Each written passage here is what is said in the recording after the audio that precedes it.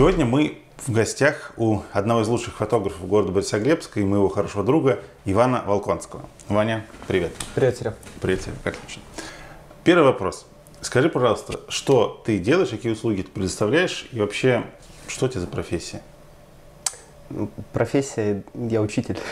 Хорошо, а то, что, что ты предлагаешь людям? Почему я вообще к тебе пришел? Кто ты? Я занимаюсь фотографией, фотографирую людей, все, что связано с этим. Угу. Семейные съемки, детские, свадебные, портретные и так далее. Хорошо, а сколько ты уже занимаешься фотографией? Чуть больше восьми лет. Восемь лет, это уже прям хороший срок, ты такой уже на опыте. Хорошо, тогда э, следующий вопрос, который я заготовил. Почему ты? Почему людям нужно идти к тебе, как к фотографу? Что ты предлагаешь уникального, так скажем? Открытое общение, комфорт во время съемки. Я делаю true фотографии, если так можно сказать, на которых человек выглядит так, как он выглядит. Не как образец 2012 года журнала Vogue. Я не убираю складочки тела, я не убираю морщинки, потому что если оно есть, то оно должно быть. Я не хирург э, пластический и не фитнес-тренер. То есть я ты, фотограф.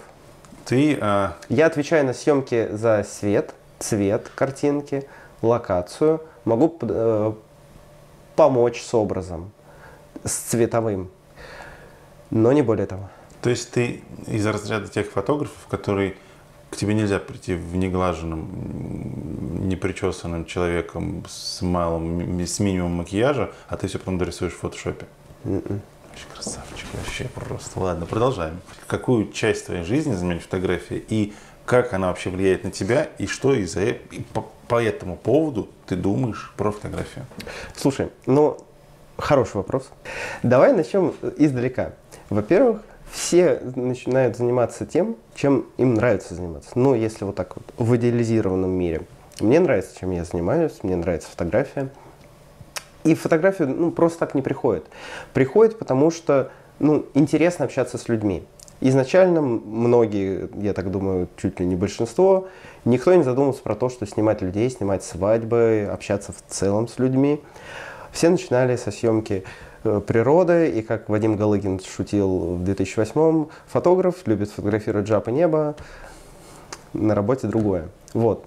А потом, когда ты сталкиваешься с людьми, понимаешь, что они интересные, Каждый человек уникальный. Каждый человек уникальный. Ты сталкиваешься с разными людьми, они интересны, ты общаешься, тебе хочется э, развиваться в этом, хочется еще больше узнавать про них, потому что это интересно.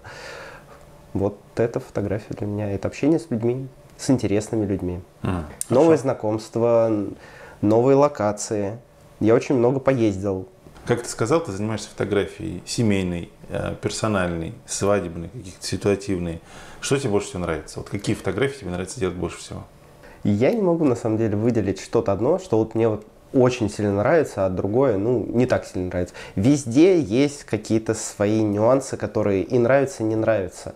Свадебная фотография включает в себя наибольшее количество всего на свете. Там есть и персональная, и репортажная, и семейная, и все, что ты хочешь, и предметное все есть на свадебной фотографии. Она, вот ты за один день должен снять все, угу. и в том числе и пейзажи, когда у тебя вот такусенькие люди на фоне больших-больших деревьев. Как фотограф, что ты можешь посоветовать, к примеру, давай сейчас коснемся свадеб, свадебной фотосессии. Что ты можешь посоветовать молодоженам, которые планируют свадьбу, как им выбрать фотографа? Что хорошо, что плохо вот в твоей профессии? Во-первых, выбирать фотографа самим не делегировать это никому ни в коем случае, потому что вам с ним провести этот день, вам потом смотреть на эти фотографии. И даже если вы молодая совсем пара, чьи финансовые возможности не позволяют, но вас спонсируют, все равно оставляйте все права за собой. Угу. Настаивайте на Основной этом. такой твой совет. Ну, это, из него все вытекает. И крайний вопрос. Какие планы на будущее? О чем ты мечтаешь? К чему все это приведет? К чему приведет, не знаю, но цель моих фотографий – оставить людям их на память.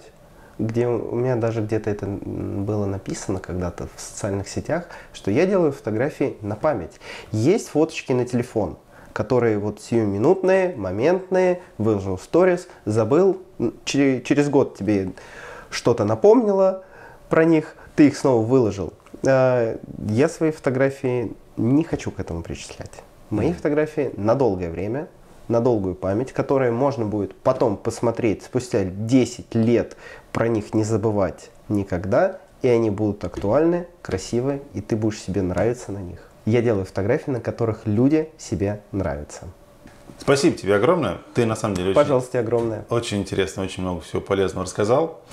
Спасибо. Ваня, ты молодец.